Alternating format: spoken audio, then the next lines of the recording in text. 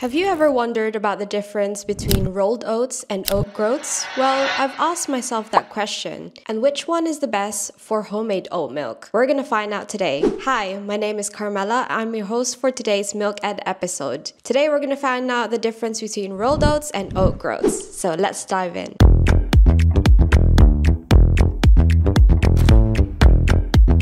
So rolled oats or old-fashioned oats are actually derived from oat groats, but they have first been steamed and then rolled into large rolling pins to create flakes. They're very quick to cook and they're versatile in recipes, and the best thing about them is they have a longer shelf life, which is why a lot of people opt in for them. Now let's talk about the characteristics of rolled oats. So rolled oats have a flatter shape and smoother texture compared to oat groats. So you can cook them quite well because it absorbs liquid very well and that is why when you make oatmeal it has a creamy consistency. Also, in terms of flavor, rolled oats has a milder and sweeter taste compared to oat groats. They can easily adapt to various flavor profiles, which is why they can be used for both sweet and savory dishes. Lastly, rolled oats are very convenient. You can cook them in the stovetop, in a microwave, or keep it overnight for a non-cook recipe. Now, its contender,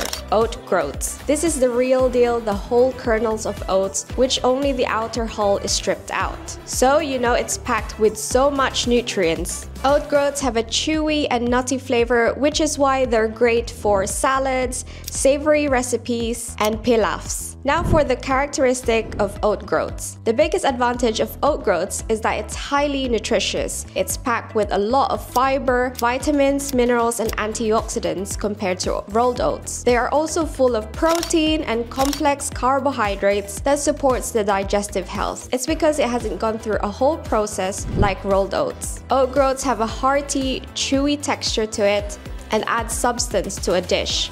They maintain their shape well, which can be used as a base for stuffing, grain bowls, or as a side dish. While rolled oats are very convenient, oat groats on the other hand require a lot more time in terms of cooking.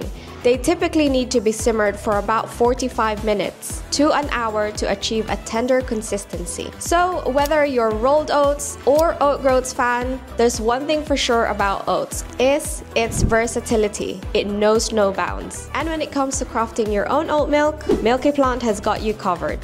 With Milky Plant, say goodbye to the hassle and fuss, and you can literally make your own oat milk in just 3 minutes. You'll have creamy, dreamy oat milk ready to elevate your morning coffee or your breakfast cereal, and maybe some recipes or two. And some of you might be asking which one is the best for making your own homemade oat milk. There is really no best answer here. It depends on what kind of flavor you prefer. If you want a milder or sweeter taste, then go for rolled oats. For me personally, I like it with oat groats. It has a little nutty taste to it, and I feel like it's so much more creamier. I just add a date in and it's the perfect oat milk. Based on what you learned today, how do you like to make your own oat milk? That's it for today's MilkED episode. Don't forget to like and subscribe. Comment below which type of oat milk you prefer and I'll see you in the next one. Bye!